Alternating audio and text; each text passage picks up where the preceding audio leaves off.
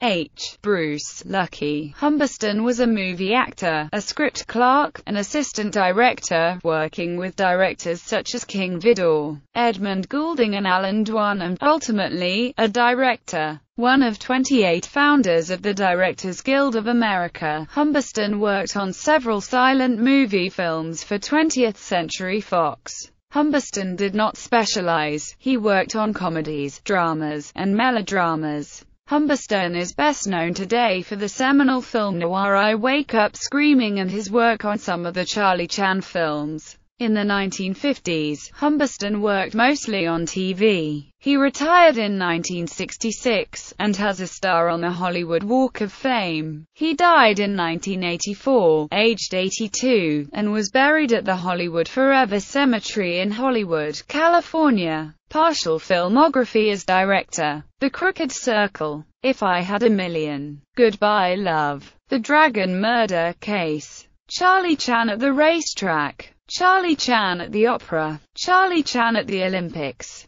Charlie Chan in Honolulu, Lucky Cisco Kid, I Wake Up Screaming, Sun Valley Serenade, Iceland, To the Shores of Tripoli, Hello, Frisco, Hello, Pin-Up Girl, Wonder Man, Three Little Girls in Blue, The Home Stretch, Fury at Furnace Creek, Happy-Go-Lovely British, Ten Wanted Men, Tarzan and the Lost Safari, Tarzan's Fight for Life,